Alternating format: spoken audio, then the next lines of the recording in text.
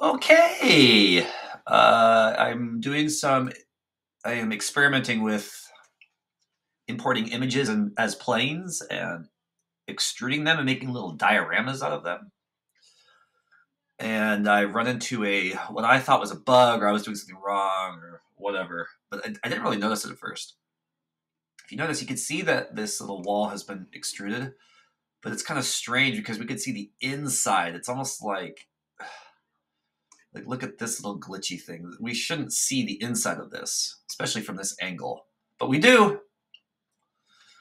Um, so if you're going to be experimenting like me with images as planes, there is a setting, one little thing you need to fix. So uh, I want to point out how to get there first. Notice that I am, look at my sun, if I turn the sun, uh, the sun's too high.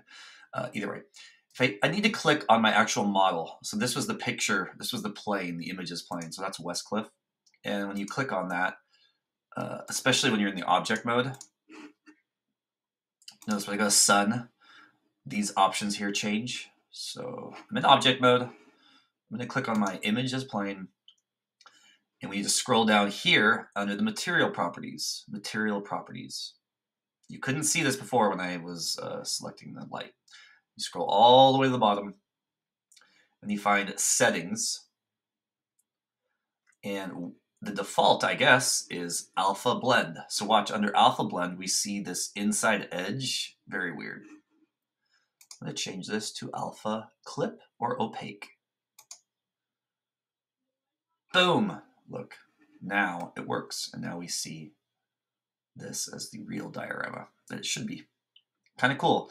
Um, remember, this thing gets all stretched out. That's why this looks a little strange because the pixel, that line of pixels right here was pulled out. So um, I'm not really sure how to fix this yet, but I'm going to work on that. Either way, weird. Blend mode. Do not do alpha blend. You need opaque or alpha clip. Hope this helps. Good luck.